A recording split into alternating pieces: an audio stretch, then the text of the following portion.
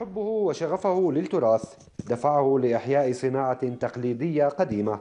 كان يعتمد عليها الأجداد في صناعة البسط والسجاد. سامر بلان مواطن من مدينة السويداء. يعيد إحياء النول الخشبي من جديد في صناعة البسط والاستفادة من الأقمشة والملابس التالفة وتحويلها لقطع غاية في الجمال وذات مردود اقتصادي جيد. اشتغلت النول فكرة النول يعني حبيت مثل ما قلت لك سلط الضوء عليها وزوجتي تشتغل عليها بتغطي جانب من وقتها خصوصا بالشتاء وقت فراغ آه كثير آه يا ريت يعني نقدر بالمجتمع الريفي نشجع الصناعة هذه. بشكل عام الصناعات اليدوية السجاد البسط آه بمجالات كثير في فينا نقدر نرجع نحييها ونعيد صياغتها بشكل جديد. فكرة النول معروفة.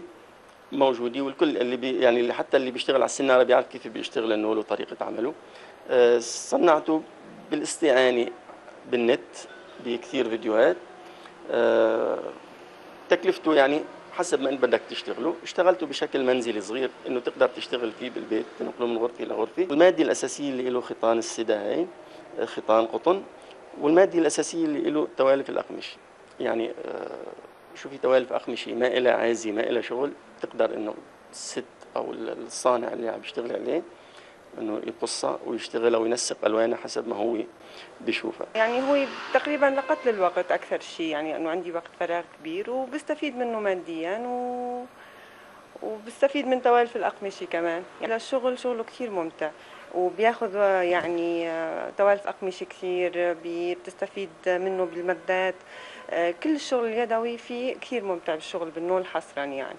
بتساعد كثير مجموعة من الصبايا على الشغل اي يعني هو عمل يدوي حتى إذا كانت هي ما بتتقنه سهل إنها تتعلمه. يسعى الشاب سامر لتحويل مشروعه الصغير إلى مشغل يحتوي العديد من الصناعات التقليدية القديمة.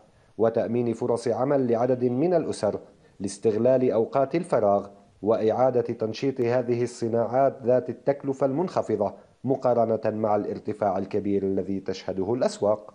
من السويداء للإخبارية السورية شام حمدان.